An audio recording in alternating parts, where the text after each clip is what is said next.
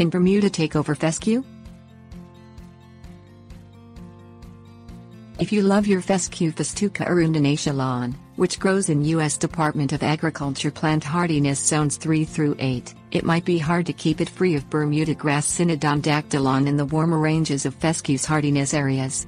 Bermuda, which thrives in USDA zones 7 through 10, can be so invasive it's often considered a weed.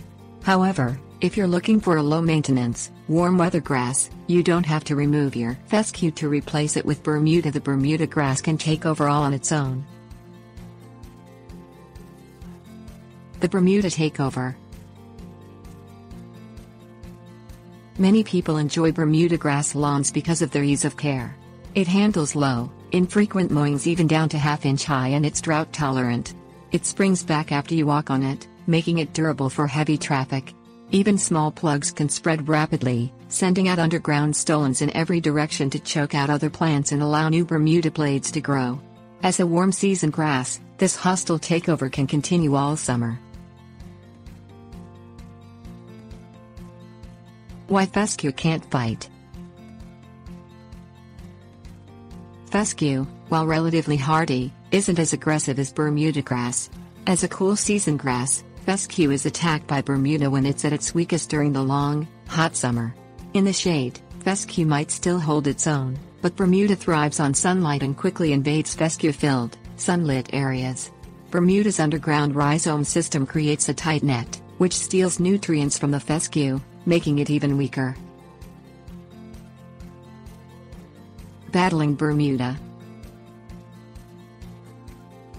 Because Bermuda is so invasive, it's definitely a battle to keep it from overtaking your fescue. It's difficult, but not impossible. Mow your grass at a height where fescue flourishes, such as 2 to 3 inches tall. This won't hurt the Bermuda grass, but it gives the fescue an opportunity to stay strong. Spray clumps of Bermuda grass with a non-selective herbicide such as glyphosate.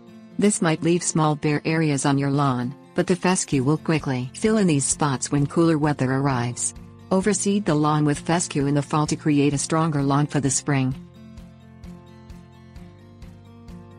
Farewell to fescue. Sometimes, it's easier to throw in the towel and let the Bermuda grass make its home in your yard, says Walter Reeves on his website. Mow the lawn to about 1 inch high.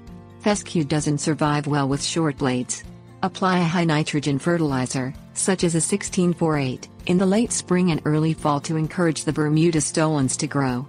Water lightly and infrequently Bermuda rhizomes won't be harmed by light watering, but fescue roots become weaker as they gravitate toward the soil surface in search of moisture.